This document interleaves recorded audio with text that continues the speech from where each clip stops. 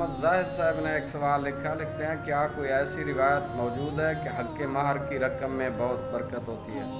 इस रकम से अगर किसी बच्चे का इलाज किया जाए तो उसे शिफा मिलेगी। बसमीम अलजवाब अल्लाम हिदायत मेरी नज़र में ऐसी कोई रिवायत नहीं गुजरी जिसमें हक महर की रकम के बारे में ऐसी बरकत का ज़िक्र हो। अलबत् उन औरतों को बरकत वाला कहा गया है, जिनका हक के मार इतना हो कि उसका अदा करना आसान हो। उम्मिन सैदा तय्यबा ताहिरा, अम्मी आयशत सिद्दीक रज़ी अल्लाह से रिवात है। कि नबी पाक साहिब लाक हमारे पाक प्यारे आका सल्लल्लाहु अलैहि वसल्लम ने इरशाद फरमाया, बड़ी बरकत वाली वो औरतें हैं कि जिनके हक के महर आसान हों। अलमुस्तरक अलसही हैं, जल्द दो, सफ़ा नंबर दो सौ निन्यानवे।